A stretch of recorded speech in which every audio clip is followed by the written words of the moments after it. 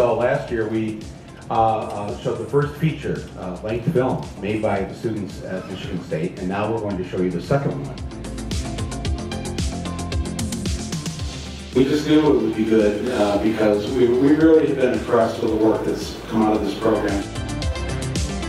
I think it went really well. I was a little nervous. People actually paid to come see the movie, like, it's just crazy. I was happy that my boy liked it. It's the best feeling. It's cool to have that receptive audience to be there and to be ready to see anything. It's overwhelming and it's such a good place just to hear what people think and to grow. We should introduce people to 21st century technology and all the cutting edge things that are happening. And there was really no better place to partner up with than Michigan State University.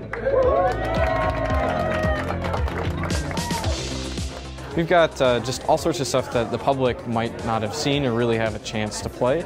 We're trying to make it available for them for free so they can come out here and really get a dose of entertainment that they're not used to. I got really good with the bow and arrow. I could set the arrow on fire.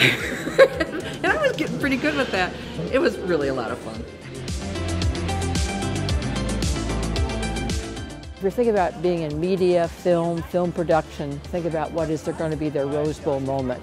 What better place to do it than the Traverse City Film Festival right here in our backyard? There was such bonding, they had learned so much, and there was so much energy, and it was all green MSU. I mean, that's what made this happen.